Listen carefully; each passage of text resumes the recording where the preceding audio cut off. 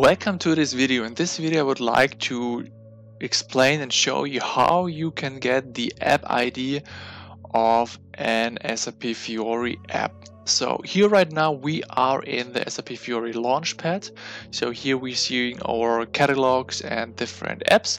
So the first step is to open up the app.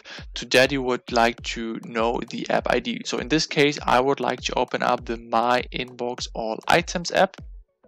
And then here you have to open up the me area. So here you click on this person icon and then you have to open up the function about.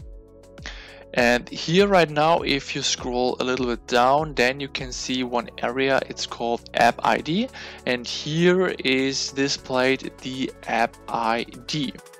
So this is a fast and easy way to get the app ID of a app. Another way is to open up the so-called SAP Fiori apps reference library. I will put the link in the video description and then you can search for your app. So in this case, it's my inbox and then we open this up and here directly in the basic information you can see the app ID shown in here. Here I am in the SAP Fiori app with quotation marks acquisition from purchase with vendor header data.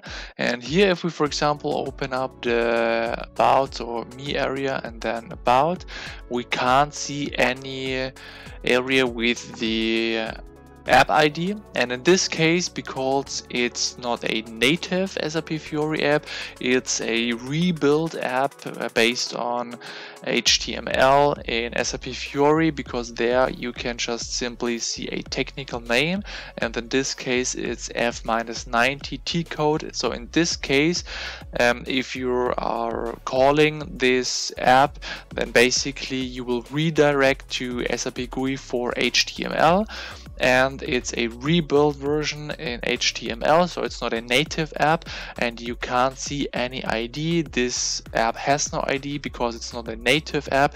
You can just simply the transaction code as you would call this transaction in the SAP GUI or in the web GUI so keep this also in mind.